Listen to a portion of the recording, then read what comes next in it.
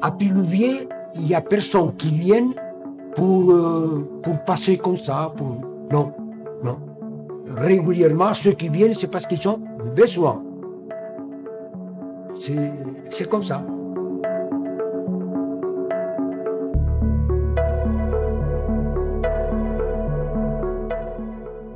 ILE est l'image même de la version la plus aboutie de euh, la solidarité légionnaire.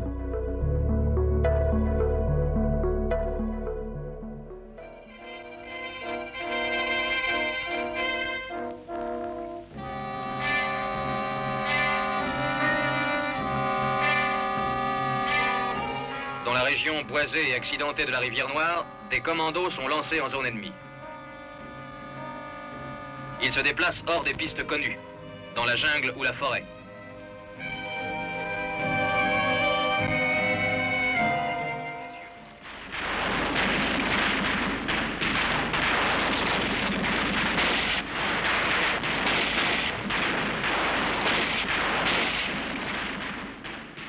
Alors que la guerre d'Indochine fait rage, le service du moral et des œuvres de la Légion étrangère, l'action sociale de la Légion, affirme sa volonté de créer une structure pouvant accueillir les légionnaires invalides avant de les rendre à la vie civile après réforme. Des moyens existaient déjà, sous la forme de centres de convalescence, mais le commandement de la Légion étrangère voyait plus loin. L'idée était de fonder une structure pouvant accueillir ces étrangers qui venaient de servir la France au péril de leur vie, afin de leur procurer un foyer et un tremplin pour leur réinsertion dans la vie civile. En 1953, grâce à l'intervention de M. De Chevigné, secrétaire d'État à la guerre, l'État se porte acquéreur du domaine Le Général, situé sur la commune de Puy-Loubier, en Provence.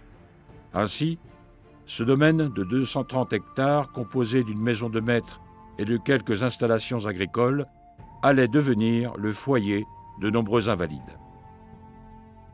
Le domaine est ensuite renommé Capitaine d'Anjou. Aucun nom ne pouvait, en effet, mieux refléter le courage et l'abnégation dont avaient fait preuve ceux qui en seront les pensionnaires.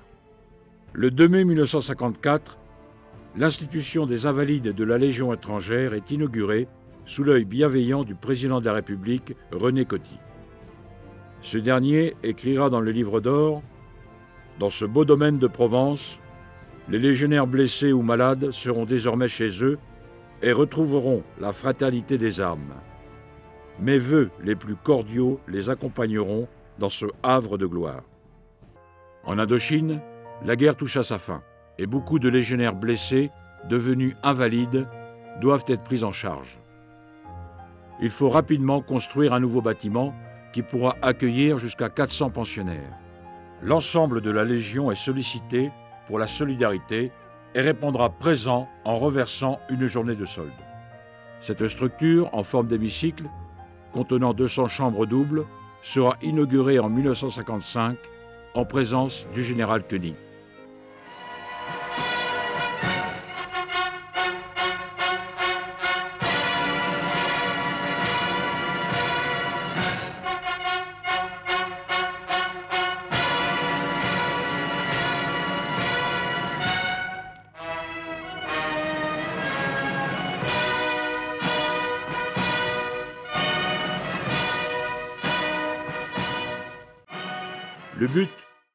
Toute jeune institution des Invalides est d'aider à la réintégration professionnelle et sociale des pensionnaires. Pour cela, des ateliers sont mis en place dans différents domaines, sous la direction de spécialistes. Ainsi, l'institution verra notamment le développement des ateliers de céramique, ferronnerie, horlogerie, menuiserie, reliure, mécanique, peinture, agriculture et bien d'autres.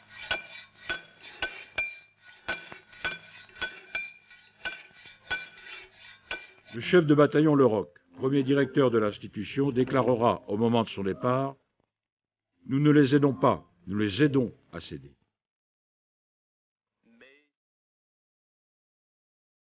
L'atelier céramique, lui, il a été créé en 1957 par M. Paris. Et il est évident qu'au départ, c'était des ateliers de réinsertion. hein, pour des gens qui étaient handicapés euh, suite de, l'Indochine et, même en Algérie. Alors les ateliers ont évolué et actuellement euh, ils servent, ce sont des emplois occupationnels. Ça permet aux pensionnaires de se regrouper autour d'un travail, d'un projet. Il y a des pensionnaires qui me demandent la clé pour le week-end pour venir finir le travail, que je laisse volontiers, évidemment. Il y en a qui viennent le week-end pour finir un travail, redémarrer, préparer un four, etc. Euh, donc ça permet de, ça prouve qu'ils s'intéressent au travail, c'est l'intérêt. Et on sent bien, la, non, il y a une bonne cohésion hein, de ce côté-là, donc ils le ressentent. C'est agréable pour ça, oui. Bien que la vente des productions issues des ateliers participe économiquement à la vie de l'institution, c'est bien la Solidarité Légion qui finance l'institution des Invalides.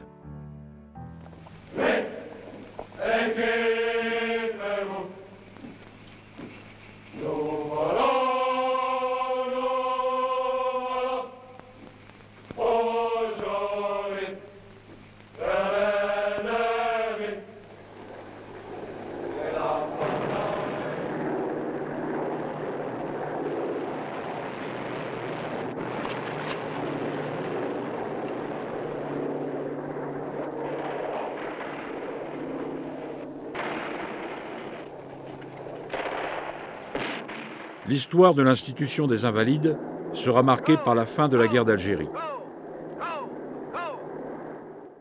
En 1962, les dépouilles mortelles du général Rollet, du prince Hogg de Danemark et du légionnaire de première classe Zimmermann, dernier tué en Algérie, initialement inhumé à Sidi Bel rejoindront le carré Légion aménagé dans le petit cimetière du village de Piloubier.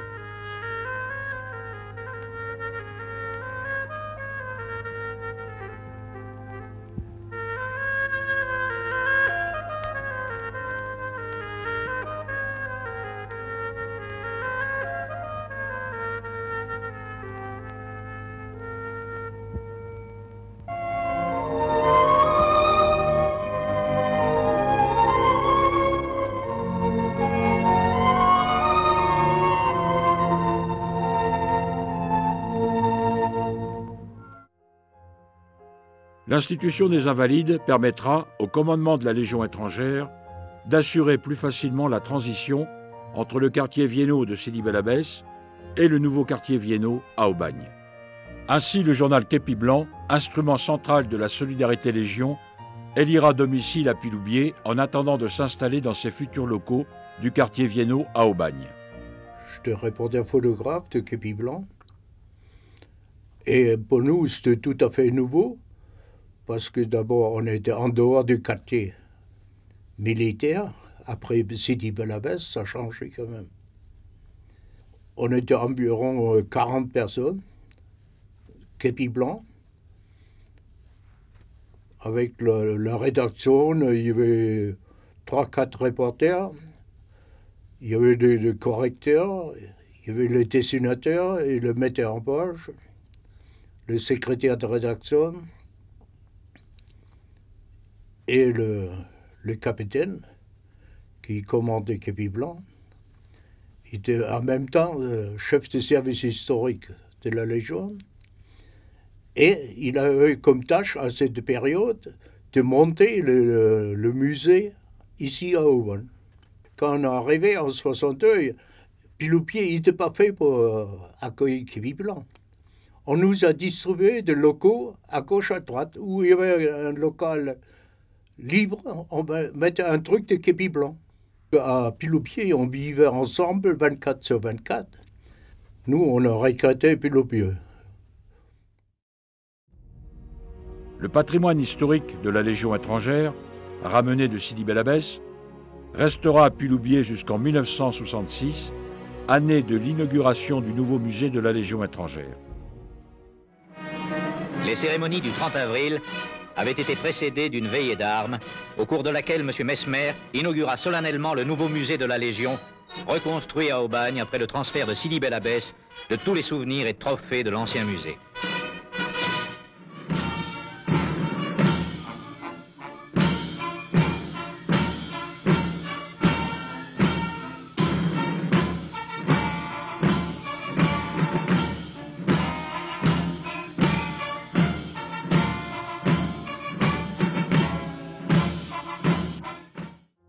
En 1979, l'institution des Invalides célèbre ses 25 années d'existence. Beaucoup a déjà été fait, mais l'institution regarde résolument vers l'avenir et songe déjà aux différents chantiers qui assureront la pérennité de l'institution. En 1999, en face de l'hémicycle, la première pierre d'un nouveau bâtiment est posée. Ce bâtiment abrite un foyer composé d'une salle de détente avec télévision, d'un mini-marché, d'une bibliothèque, d'un salon de coiffure, d'une laverie-buanderie et d'un bar. De 1999 à 2001, l'hémicycle sera profondément rénové pour pouvoir transformer les chambres doubles en chambres individuelles.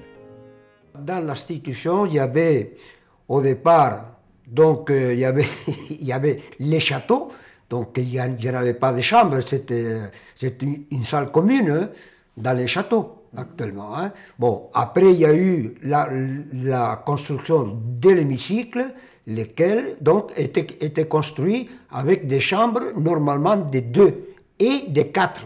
Aujourd'hui, toutes les chambres sont individuelles. L'institution comptait donc 16 hectares de vignes. Et moi, je, je fais planter donc euh, jusqu'à 40 hectares de vignes de l'appellation origine contrôlée. En 1995, puis en 2000, le vin de l'institution est récompensé pour sa qualité. Après des années de travail dans la vigne, c'est la consécration. Car il faut reconnaître que la viticulture n'est pas chose aisée. Mais depuis 30 ans, les pensionnaires et les cadres de l'institution se sont évertués à améliorer leur savoir-faire pour offrir un vin de grande qualité. Cela nécessite un travail acharné et les pensionnaires ayant la meilleure condition physique travaillent toute l'année au grand air. Le travail de la vigne représente l'activité majeure de l'atelier agriculture qui comporte également une plantation d'oliviers. La vigne, avec ses 40 hectares, permet chaque année la vente d'environ 220 000 bouteilles de vin rouge, rosé ou blanc. Les pensionnaires qui travaillent dans les vignobles sont épaulés par trois salariés. Pour ces pensionnaires, travailler dans les vignes, c'est s'épanouir au contact de la nature, c'est se sentir libre.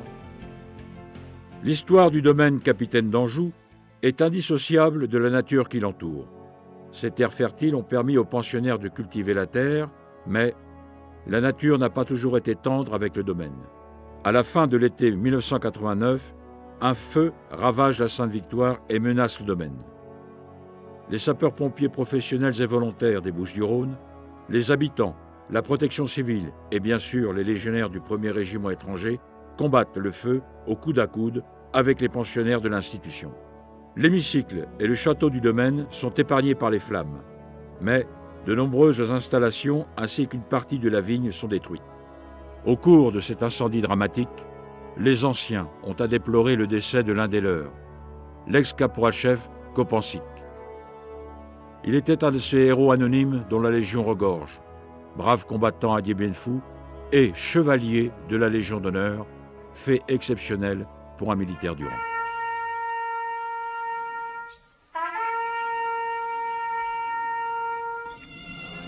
Seigneur, nous avons accompagné jusqu'ici ton serviteur. Qu'il trouve auprès de toi la paix et la joie avec ceux que tu appelles à entrer dans ton royaume par Jésus-Christ le Christ notre Seigneur.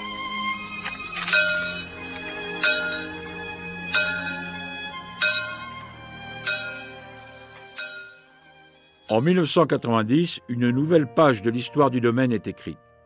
En effet, le musée de l'uniforme de l'Institution des Invalides est inauguré. Cette collection d'uniformes, dont certains sont uniques au monde, retrace l'histoire de la Légion.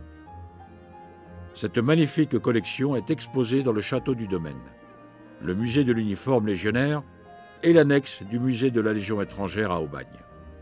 En 1989, devant l'intérêt historique, la richesse et la rareté de cette collection, le commandement de la Légion étrangère a souhaité réaliser un musée. Ainsi est né, le 29 juin 1989, le musée de l'uniforme légionnaire installé à l'institution des Invalides de la Légion étrangère à Puloupier. Les objectifs de ce musée étaient deux. présentait l'histoire et l'évolution de l'uniforme légionnaire depuis 1831 jusqu'à nos jours. Le deuxième objectif était d'augmenter le nombre des visiteurs et faire connaître l'institution des invalides de la Légion étrangère. Le musée actuellement présente, réparti dans cinq salles, 105 mannequins et plus de 150 objets. Le musée de l'uniforme légionnaire est aujourd'hui, avec le Grand Musée étranger d'Aubagne, un point incontournable du circuit historique et culturel de la Légion étrangère. L'amélioration constante de la qualité de vie des pensionnaires reste une préoccupation permanente. En 2013, la salle de restauration est entièrement rénovée afin d'offrir un cadre moderne et chaleureux aux pensionnaires. En ce qui concerne le suivi sanitaire des pensionnaires, une équipe médicale et paramédicale, composée de personnel militaire et civil, dispense les soins. Une permanence est assurée 24 heures sur 24 et un système d'appel à distance est mis à la disposition des pensionnaires les plus dépendants.